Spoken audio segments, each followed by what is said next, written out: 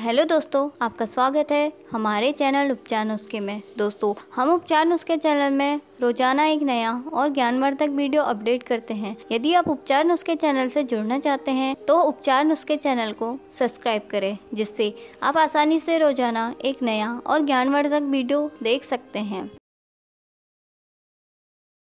दोस्तों, सपने तो सभी लोगों को आते हैं तथा हमारा हर सपना हमारे भविष्य से जुड़ा होता है। आज हम इस वीडियो में आपको बताएँगे, यदि किसी व्यक्ति को सपने में भगवान के दर्शन होते हैं तो इसका अर्थ क्या होता है? तो आइए जानते हैं, कैसा होता है सपने में देव देवता को देखना। सपनों का रहस्य जानने के लिए सभी मनुष्य बड़े उत्सुक रहते हैं। सपना एक ऐसा माध्यम है जो मनुष्य को शुभ, अशुभ होने वाले कार्यो से अवगत कराता है। सदियों से मनुष्य द्वारा देखा गया हर सपना एक रहस्यमय सपने की तरह ही रहा है। कुछ सपने बड़े ही विचित्र होते हैं। उन्हें देख के मनुष्य के मन में अनेक प्रकार के प्रश्न आते हैं तथा उन्हें उनका जवाब नहीं मिल पाता। हर सपने का महत्व कुछ खास होता है। प्रत्येक व्यक्ति अलग अलग प्रकार के सपने देखता है। जो व्यक्ति सपने में देवी देवताओं के दर्शन करता है, उनके जीवन की तमाम परेशानियाँ समाप्त हो जाती हैं। ज्योतिष शास्त्र के अनुसार सपने में देवी देवताओं को देखना बहुत ही शुभ माना गया है। इससे हमें यह संकेत मिलता है कि हमारे जीवन में चल रही परेशानियों के अंत का समय निकट आ रहा है।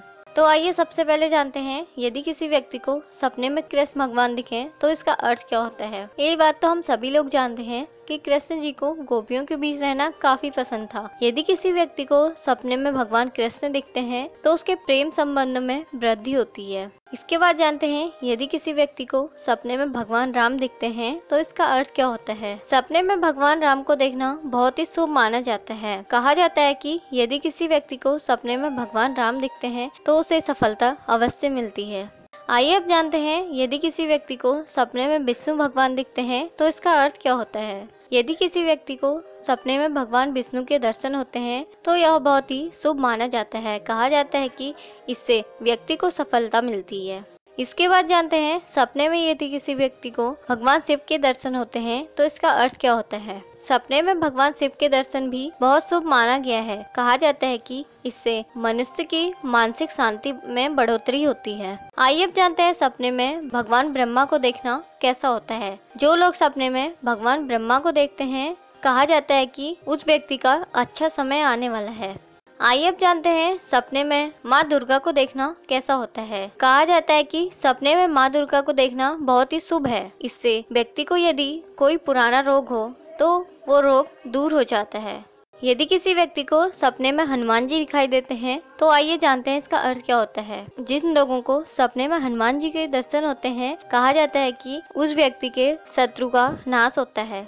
आइए अब जानते हैं सपने में माँ सीता को देखना कैसा होता है। जो लोग सपने में माँ सीता के दर्शन करते हैं, कहा जाता है कि उस व्यक्ति को पहले कष्ट मिलते हैं, फिर उसकी काफ़ी समृद्धि होती है। आइए अब जानते हैं सपने में माँ लक्ष्मी को देखना कैसा होता है। यदि किसी व्यक्ति को सपने में माँ लक्ष्मी के दर्शन होते हैं तो कहा जाता है कि उस व्यक्ति को धन धान्य की प्राप्ति होती है। आइए अब जानते हैं सपने में माँ पार्वती को देखना कैसा होता है। यदि किसी व्यक्ति को सपने में माँ पार्वती को दिखाई देती हैं तो यह बहुत ही शुभ माना जाता है। कहा जाता है कि जो लोग सपने में माँ पार्वती को देखते हैं उन्हें सफलता अवश्य मिलती है। इसके बाद जानते हैं सपने में माँ सरस्वती को देखने से क्या होता है। यदि किसी व्यक्ति को सपने में माँ सरस्वती दिखाई देती हैं, तो यह उस व्यक्ति के लिए शुभ संकेत होता है। कहा जाता है कि व्यक्ति का भविष्य सुखद होता है। आइए अब जानते हैं, यदि कोई व्यक्ति सपने में नारद जी को देखता है तो इसका अर्थ क्या होता है?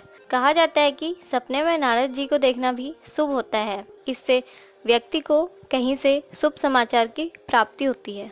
दोस्तों, अगर आपको हमारे द्वारा बताई गई यह सभी बातें पसंद आई हो तो आप हमारे चैनल उपचार नुस्खे को सब्सक्राइब, लाइक और शेयर करना ना भूलें।